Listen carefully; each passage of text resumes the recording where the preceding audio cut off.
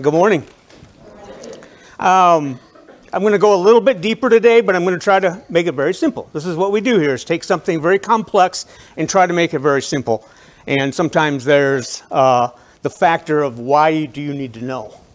There's so many questions we don't have. The Bible is not, I guess, what you would call all-inclusive. There's mysteries in there, and we don't have all the answers, but we seem to want all the answers. And if we don't have the exact answer, we won't use it right. We won't deal with it right. And I'll tell you, one of the worst things we do is we want to blame everybody. If, if we blame somebody, it's not our fault.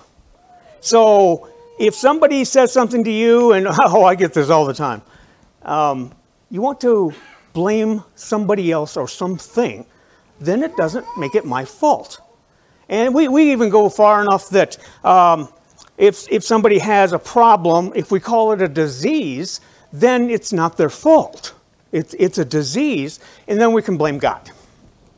He made me this way. Don't we do this? We, we want to blame somebody. So we're either going to blame uh, uh, Satan, right, or we're going to blame God. And what I want to kind of do today is put God on trial. Jesus is really the defendant, and the prosecutor is Satan.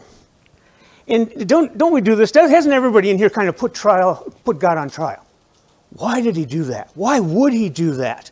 And for the next few weeks, I want to try to dive into some of this stuff and see if I can't simplify it a little bit for you, or at least give you something to think about, or a response to somebody as well. But we always want to blame everybody, and it starts right, right in the beginning of the Bible. I'm just going to read a couple of these things for you. Um,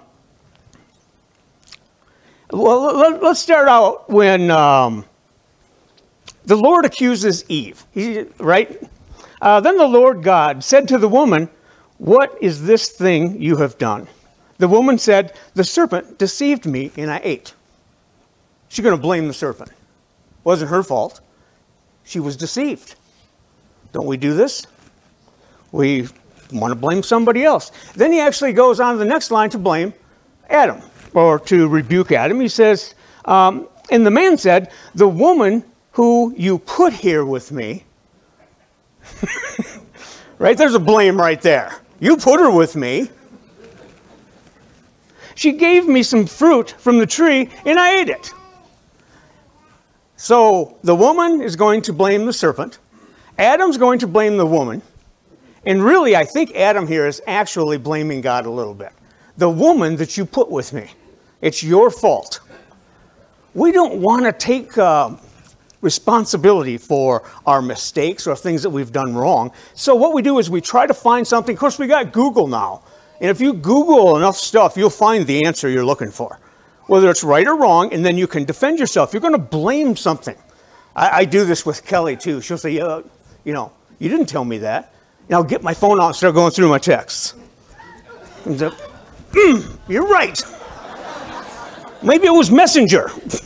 Oh, Snapchat. I know it's here somewhere because I can't be wrong. Anybody else like that? We want to blame somebody. And why do we always want to blame God or Satan when maybe it's just your fault?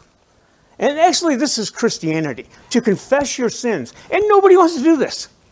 I, was sitting with some pe- people one day. I, I, just love this. This is, this is the type of people we roll with. Uh, we're just sitting there having a conver- conversation, and this person throws up her arms and said, I just want to say, I, you can fill in the blank. And I'm like, I don't care.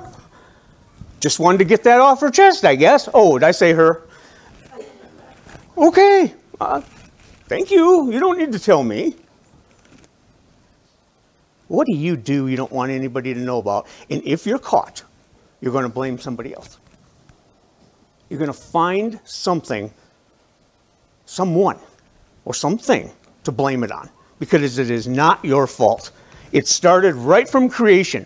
So, the big question here who created evil? Where did evil start? Really, we don't know. I'll just give you the answer right now. It doesn't tell us. But I'm going to actually go through some stuff here. Okay, first of all, is evil something that you would create? Is evil a thing? Is evil something that was created? So let's let's start in the beginning where God created. and he saw that it was dark, so he created light. Did he create the darkness, or was it just there? Is darkness actually something that you create, or is it simply a lack of light? Is cold actually a thing, or is it the lack of heat? So, is evil a thing, or is it the lack of goodness? Well, if it's the lack of goodness, where'd that start? Boy, here we go. I'm going to blame somebody because it couldn't be you. Couldn't be me. Oh no, this has gone on forever. It's not my fault. So it all started with the fruit. Sin enters the world, and we have to live with it. And I want to try to explain in a simple way how I feel this happened. We don't know. We don't have all the answers. But I'm going to try to tell you in a way that I think. This is completely my opinion. And if you disagree with me, tell Kelly. And we'll deal with that later. Um, first of all, let's go back to creation. And God actually creates heavens, plural. So he's creating the heavens and the earth. And there's actually three heavens described. And here we go again. We're going to talk about whether is the first heaven just the atmosphere, or is the first heaven actually go up to when there's uh, no oxygen? Where, where is that boundary where we step into the next heaven? I don't know. But there are three heavens, and I'm going to rattle off some things here that will show you that heavens are plural. To the Lord your God belongs the heavens, even the highest heaven, the earth and everything in it. Even the highest heaven. Where's that? In this highest heaven, right? We've been taught that there's nothing bad there. It's absolutely, this is, this is the ultimate New Jerusalem. This is where there's no more tears and no more sadness, no more fear. This is the ultimate place with no evil whatsoever. So, what are the other heavens?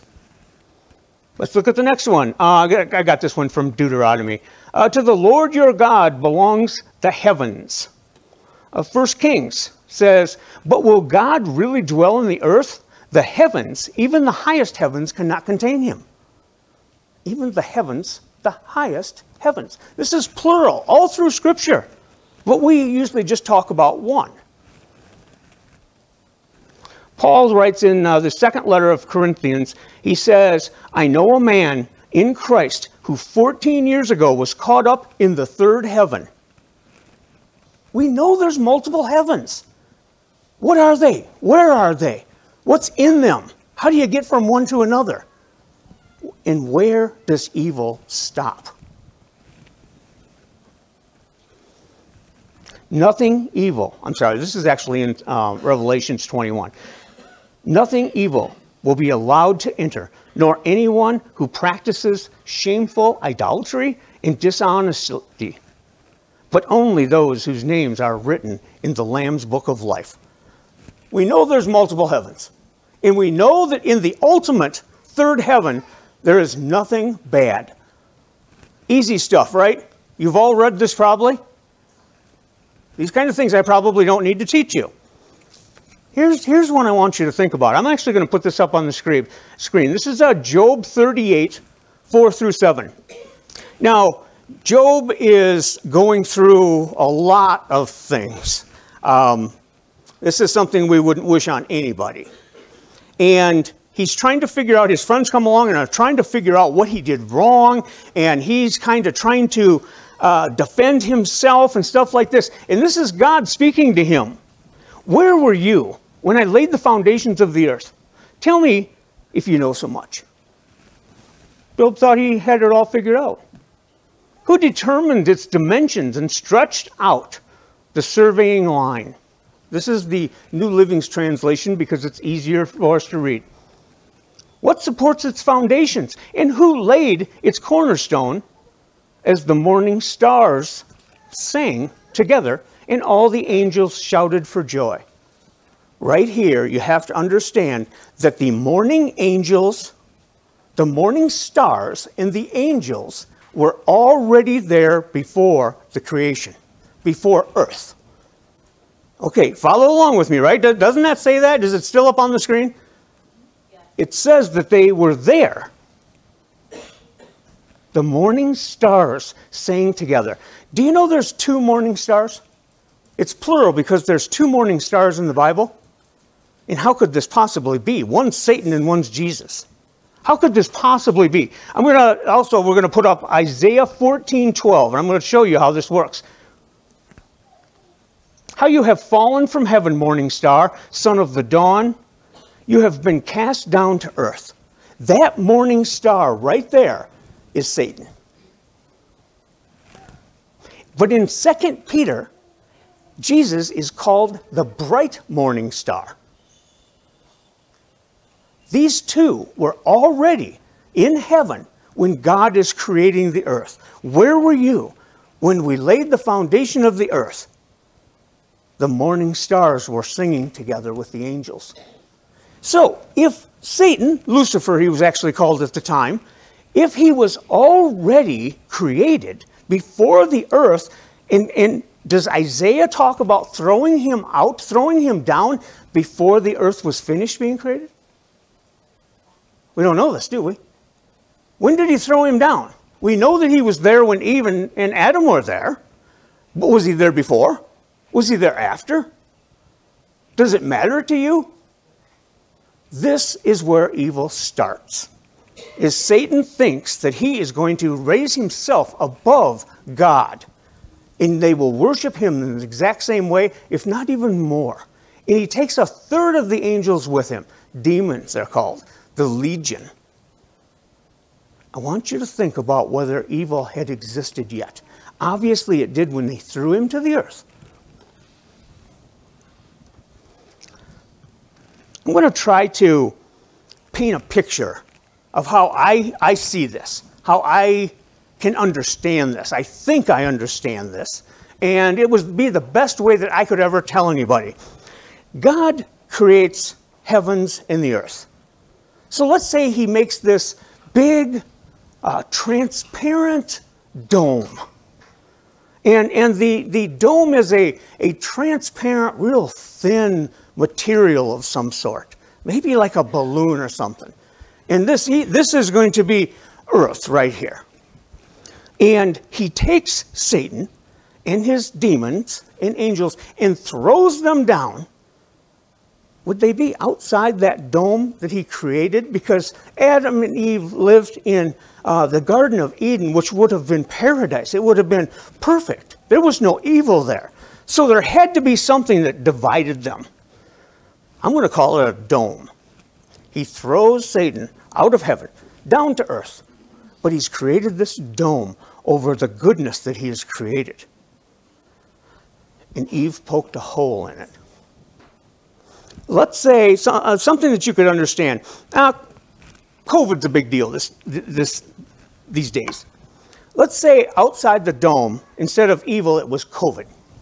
The coronavirus was all everywhere outside of this dome that God created for us to live in this beautiful, peaceful place together. And as soon as somebody poked a hole in it, it came in. And boy, it's, it's hard to get rid of right? Now now it's in with us. It's a tiny hole. And now it's in with us. Oh what's going on? Bad things are people are sick and everything. So so what you want god to patch the hole right? You don't want any evil. Why doesn't god just come down and just just wipe out all the evil? So let's say he patches that hole and disinfects the dome you're back to normal again until somebody else pokes a hole in it and you start all over again. What, what Satan does, in my mind, is he puts things on the dome a stack of money, um, lustful desires, um, pleasure, greed, power, control. These things are like, you know, on this transparent thing we can't see. And when we go to grab them, it pokes a hole in it as soon as you reach for it, as soon as the temptation gets you to where you reach for it, you see, Eve just reached for something and it broke a hole, and now it exists.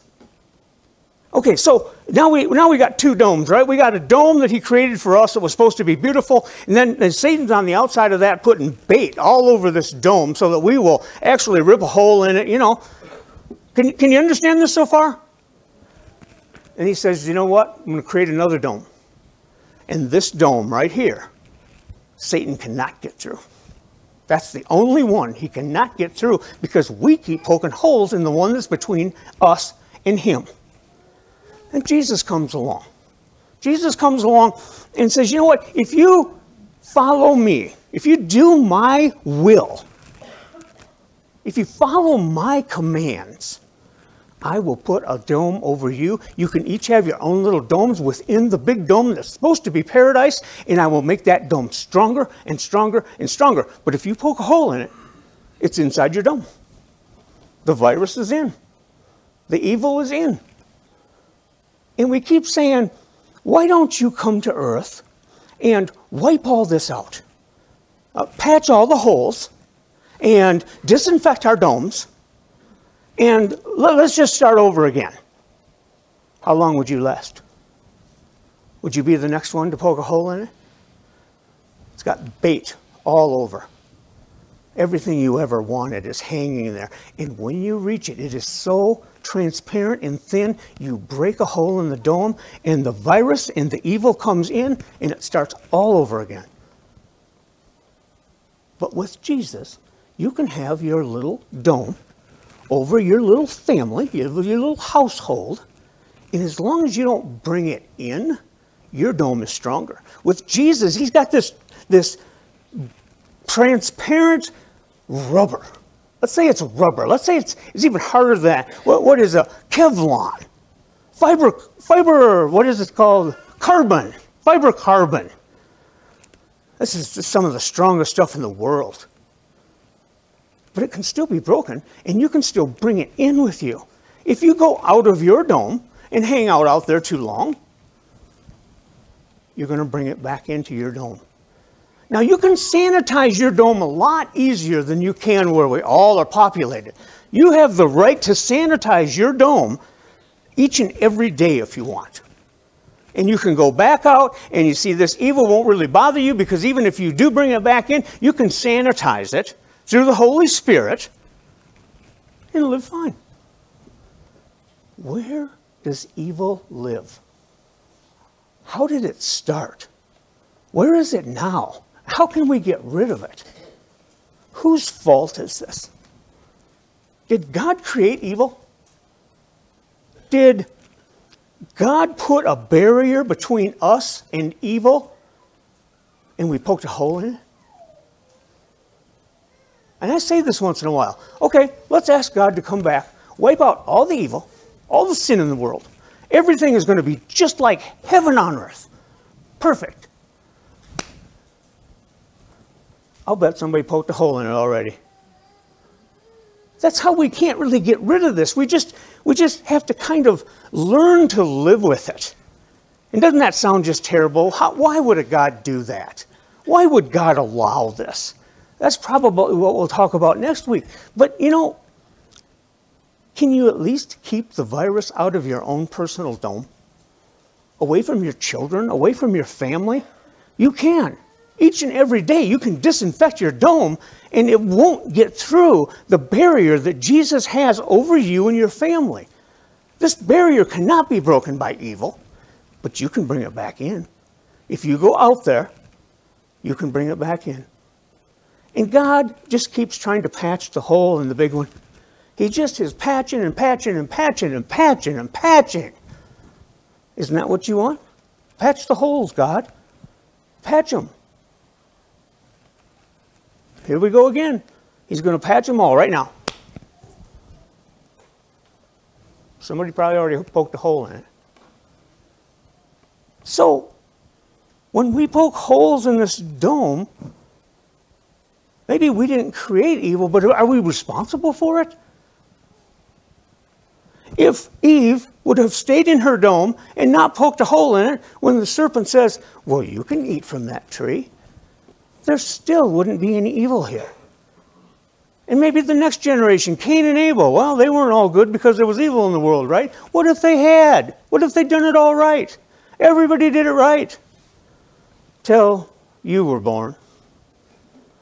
Now it's your turn. You're going to poke a hole in the dome. Have I got anything to give you? No? I threw you under the bus. Wade, you are responsible for the for the fall of man. Right? We all did it all right till you were born. And you poked a hole in it. That's how evil gets into our lives. Okay, so now I'm going to tell you this other little story. Eh, I probably won't get it all right. Let's say evil on us makes quills, and we're a porcupine. You're going to be a porcupine for a while, and you're going to live in this dome. right? How's that going to work for you? So, one time, it was a real, real cold winter, and animals were dying off because they couldn't protect themselves. And uh, the porcupines decided if they all huddled together, they could stay warm enough to survive. But when they did, it was so uncomfortable, they were poking each other, that they couldn't do it. I cannot get that close to everybody. And they, they moved away and they started to die. And they finally realized that if they could just put up with the quills of others, that they could live, they could have life. And can you understand that if the imperfections of somebody else would disturb you, you can still live with them. You can find a way because it's good. What God created is good. And maybe, maybe when we all get together real close and everybody's little imperfections are just bothering us, you either find a way to live with it or you don't. We're not meant to be alone. We're meant to live in community. And these quills are the imperfections of one another. And I'm sure I have poked a lot of you with my quills. This happens, doesn't it? Somebody pokes you with their quills and you won't ever speak to them again. You don't like them. But if you don't, you'll die. If you don't show them some love, you will die. That's how we're supposed to live together. And we can do this in a world with evil. We can actually keep evil away. But are you responsible for the holes? God created a beautiful thing, and we should have been able to live with Satan, and he, he would have had no power over us. We have the ability to not be deceived. We could have lived together and been immune from evil until we did it. It shouldn't have been a problem. I, I can understand why he would create evil and, and, and throw them down to earth and create people there. And oh, why would he do that all at the same place? Obviously, it wouldn't live together. We can live together. We can live together in an evil world and still be holy. You just have to work at it a little bit and accept people that have quills that poke you a little bit once in a while. We kept poking holes. Well, the worship team, get ready. We kept poking holes in the dome that God had made for us to live a beautiful life forever. He had to throw us out of it. And, and the punishment for that was death. The wages of sin are death. We now get old. We are now, uh, our bodies give out. This is the punishment for sin. God saw that we were poking holes in it so much that he let Jesus leave his throne and come to the earth to fix it. New plan. You didn't do the dome right. You didn't treat it right. You didn't do what he said. You didn't obey him. And we got a hole in it. So he's going to send Jesus to this earth, and he's going to, he's going to have Jesus create this, this Teflon carbon fiber dome that he's got around some of his people all over the big dome, the big one. Jesus is going to take care of everything. We found ways to put a hole through it because we wanted those things out there so bad that we found a way to get past the carbon fiber, the Kevlar, Teflon, I don't know what those things are. Can you get a mind picture of how this should be? But we keep poking holes in it and we keep bringing the virus into our own dome. Who created evil? Does it matter? Because he has a plan for it because we failed. He loves us so much that he created a plan for his son to come to this earth, patch all the holes, die for us, forgive us. And we continued to poke holes in the dome. Did you poke any holes in the dome this morning? Are you to blame for the holes in your dome? You sure are. If we all would have just obeyed, there'd be no holes. There would be no evil. And you know, Jesus came and died for you so that you can go beyond the last dome into the third heaven and then live a life that He intended for you to live here. Beautiful, perfect, loving. Even the animals liked each other. Kelly says, When I get to heaven, I'm going to be able to sing beautifully. And I said, I am not so sure. but I'll probably like it. It's going to be a great place. And while we're here, we're porcupines and we have to live together. And we can do our best to try to separate it, to try to keep it out of our own dome, to try to keep our neighbors so that they can go outside the ultimate dome at one time where there is no evil. Who created evil? I don't know. I think it's really just a lack of goodness. Did you create any evil today? Yesterday? Are you to blame? Oh, it can't be me. You know, it all started because Eve ate the, ate the fruit, and then Adam took some too. It's all their fault. But he, but he patched the holes, and he sanitized the dome. Is it your fault? When did it come?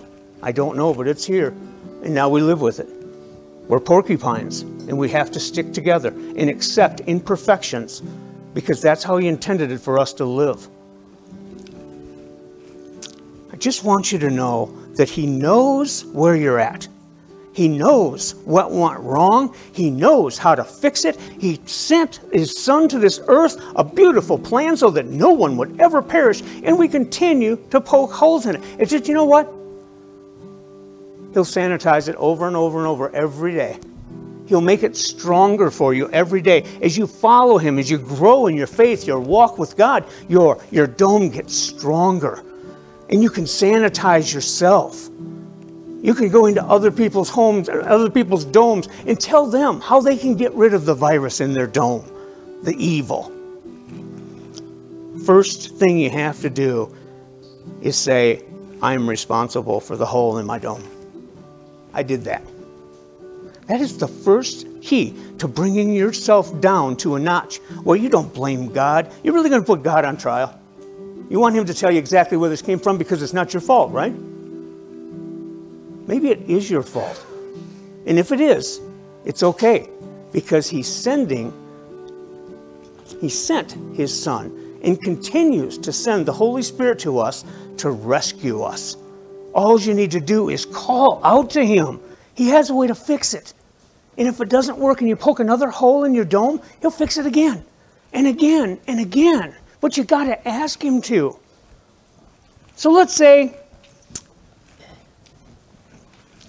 Jesus shows up and says, You know what? I am going to wipe out evil in your home, in your community. But, like Adam and Eve, you have one thing you have to do for me.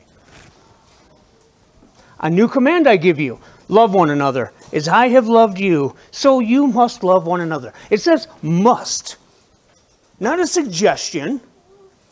All you have to do is love one another, or you're going to poke a hole in your dome. Adam and Eve blew it. Yes, so did we. They're not at fault. Is God at fault because he did this? Do you think you can actually understand the intelligent plan that God has? Do, do you think you can understand God? Do you think he owes it to you to explain to you every little thing and how this went and what's going to happen and, and how he's going to take care of it? You can't do that. You don't deserve that because you're poking holes in your dome. There will come a day when you will know everything. Can you just trust him to live in your dome the best that you can until he takes you to a dome that nothing can break? It's hard sometimes. I know it is. I, I think this whole intelligence thing, uh, if somebody put up a great big mathematical question up on the screen and I said, uh, Would you explain that to me? Well, I'm sure they'd look at me and say, I don't, I don't know where to start.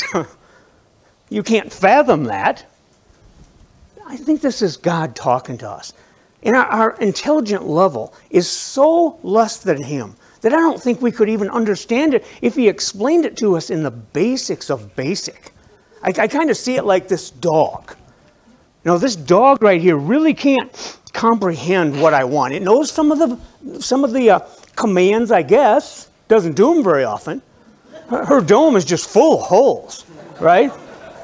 Daisy, come here. Come here. Okay, roll over. And roll, roll over. Come here.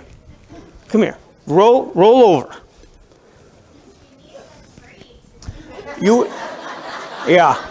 You want the treat before you'll do it, won't you? You want God to give you a treat before you'll follow His commands. That dog will not do what I want it to do. It doesn't have a clue what I'm asking it to do. It doesn't understand. It doesn't understand why. Sure.